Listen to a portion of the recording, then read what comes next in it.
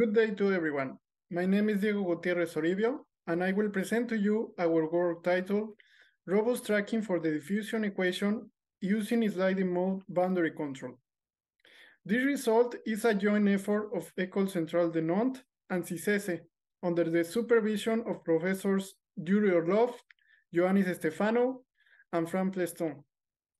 This paper was supported by the European Research Council as part of the project called COQUAKE by AtlanSTIC 2020 Ivan Conacyt. This presentation is organized as follows. We will present first the importance of the diffusion process, the state of the art, and the control objective. Then, we will show the steps of the boundary control design. First, the use motion planning, and second, the robust tracking control. Some simulations will demonstrate the reliability of the design control and we will finish with the conclusions of our work. The diffusion equation is a parabolic PDE that can be found in many applications, like in chemical reactions, population growth, heat transfer, fluid flow, and energy production.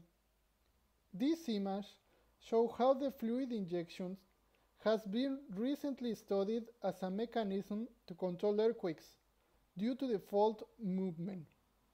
Roughly speaking, we could divide the boundary control results for the diffusion equation into two types.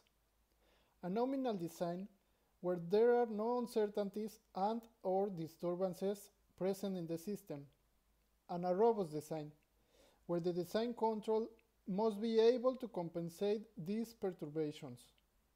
Concerning the fifth category, we could find, for instance, many results using backstepping approach.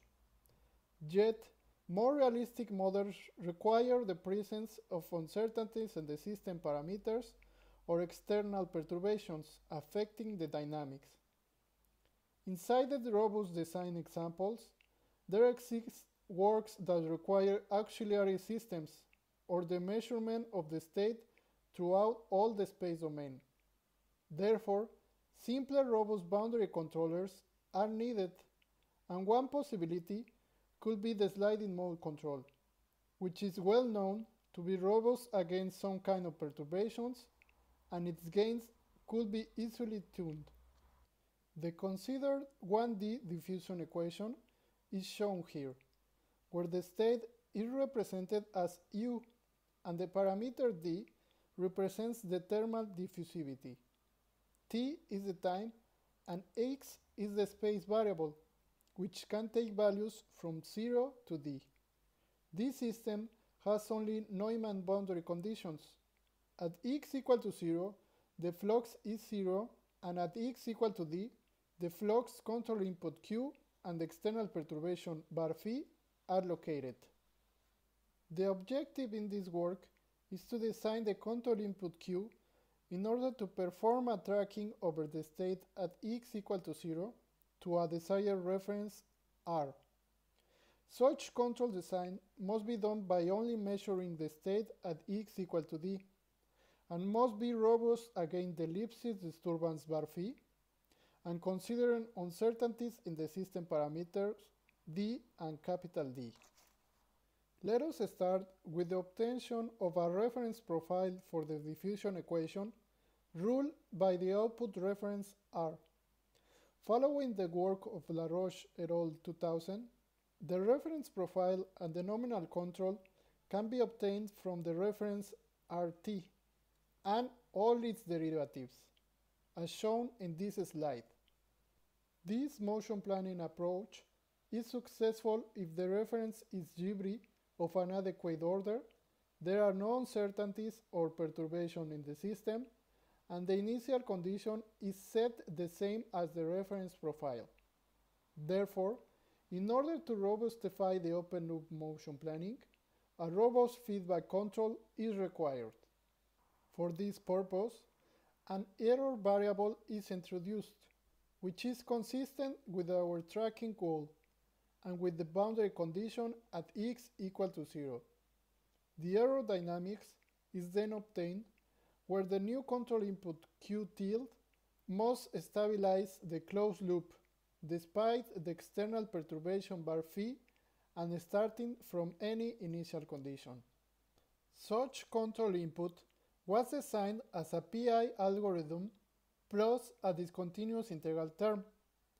The PI terms will stabilize the system origin, whereas the discontinuous term copes with the perturbation. This algorithm only requires feedback from the boundary x equal to d, and it generates a continuous control signal, reducing the chattering effect. The main result of our work is stated as follows. The closed-loop error system shown in this slide is globally exponentially stable despite the presence of Lipschitz with respect to the time disturbances, if the control gains are designed as shown.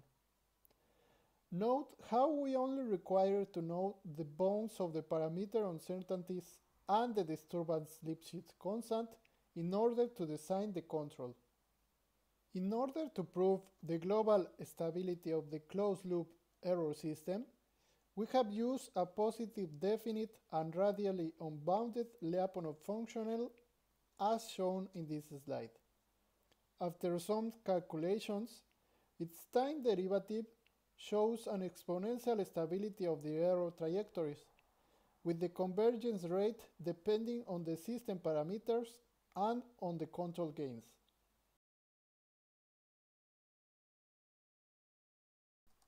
We will present now the simulations made over the diffusion equation, where four kinds of references to be followed were selected depending on simulation time. A linear reference, a constant reference, an exponential reference, and a sinusoidal reference.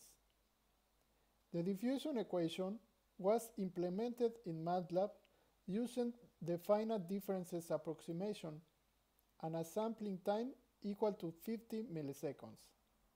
The control was designed according to the presented theorem, taking into account the uncertainties in the system parameters and the unbounded Bode-Lipschitz perturbation. The tracking over the four types of references is obtained, showing how the diffusion equation state is forced to follow the reference profile over all the space variable. In particular, the output u at x equal to 0 follows the desired reference rt throughout all the simulation, despite the presence of the Lipschitz perturbation. Furthermore, the norm of the error tends exponentially to zero even with the abrupt change of references to be followed. The control signal generated is always continuous and can perform the tracking over the diffusion equation, suppressing the effect of the unbounded Bode-Lipschitz perturbation. An additional case when the motion planning is performed with uncertain parameters was taken into account. In such scenario, the obtained reference profile presents an error, but the robust tracking control is able to keep the error norm bounded.